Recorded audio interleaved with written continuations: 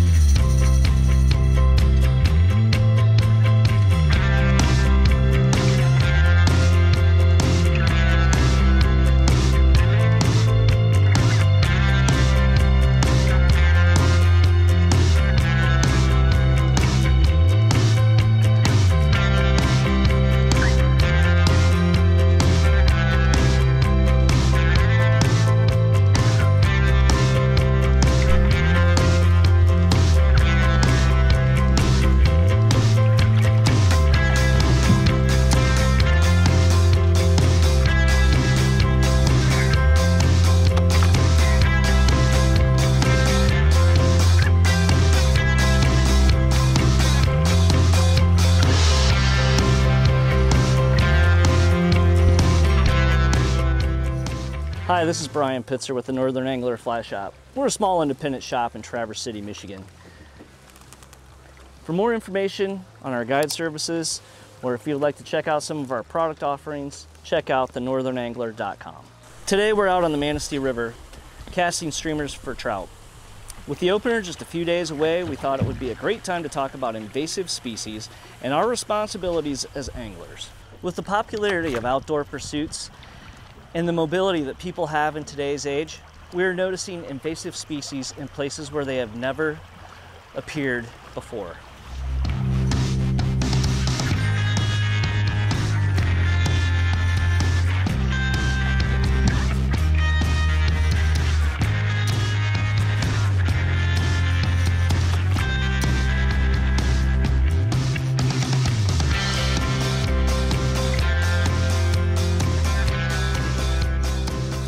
Everyone, Matt here. The two most concerning invasive species we're facing today throughout the Midwest and the Great Lakes are Didymo and New Zealand mud snails. Now, New Zealand mud snails are a lot like they sound. They're just a small snail. They're really amazingly small. They'll fit right on the head of a penny, dozens of them.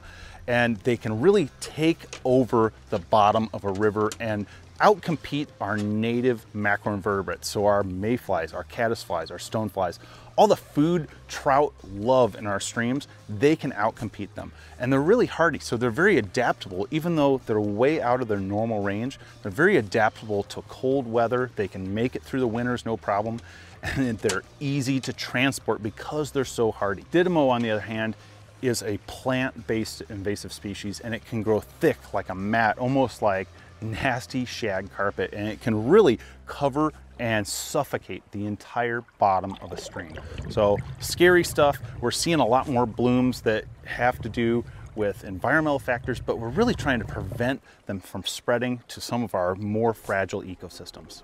Although these two invasive species are very different, they both affect these watersheds in a negative way. So today we're gonna run you through three ways you can help prevent the spread and really protect the fisheries you love.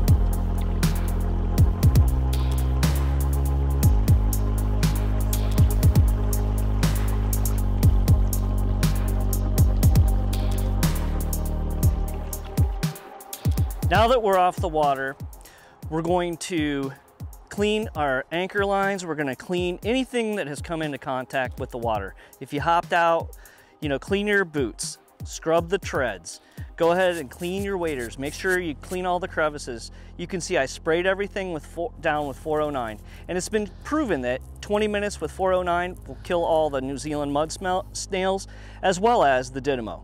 So that's my pre-treatment. So I'm gonna be home in about 45 minutes when I get home. I'm gonna take my regular hose, rinse everything off, make sure everything is clean, and then I'm gonna hang it up to dry until my next outing. One other thing that you don't really, people haven't really talked about or thought about is your fly lines. Sometimes you get those knots that have the Didymo in it. Inspect your fly lines. Take a look at your leader knots. Make sure you're not transporting it on your fly line as well.